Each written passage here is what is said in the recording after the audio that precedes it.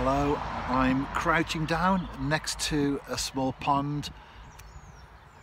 There are some more stickleback adventures on the way and I've just cast, I can hardly call it casting out really, for the first time.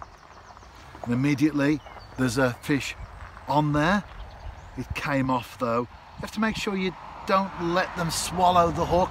That's important and that's why I've stayed with a, a size 18 Anyway, third time after two came off, I've got one here.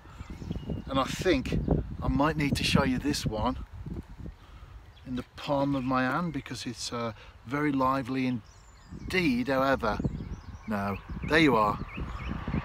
I'm off the mark. Great little fish aren't they?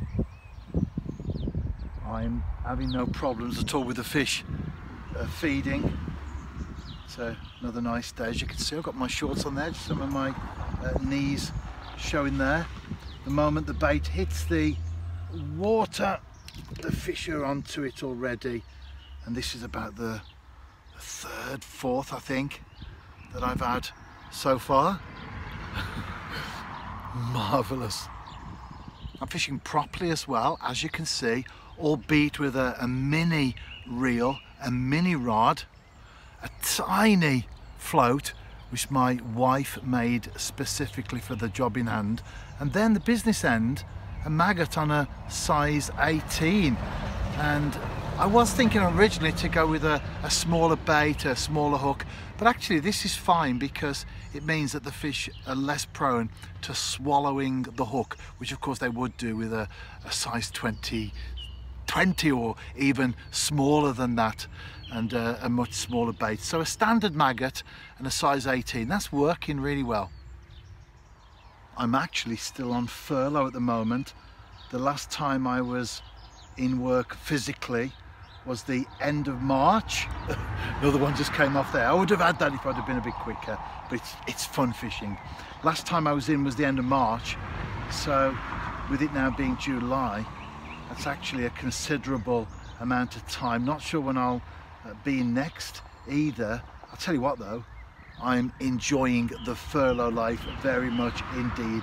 Stacks of fishing and well I've got this one on. So taken the hook but just right inside the mouth and it uh, slipped out very comfortably. Stacks of fishing and a very very nice relaxed lifestyle and of course at my age as well it's it's very convenient you can see the spines there on top of the fish. These are three spined stickleback. There are also uh, nine spined and 15 as well in the British Isles across both fresh and salt water. The float is great because, well, you can see the fish anyway taking the, uh, the bait like this one did just and then the the float disappears.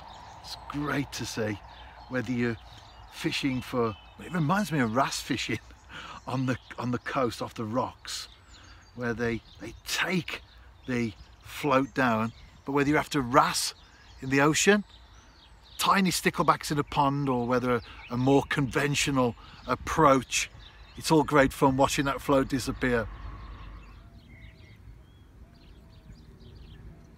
Oh, that was a very small fish and I was just showing you that compared to a maggot. Anyway, he jumped out and he's gone in the water and so now has the aforementioned maggot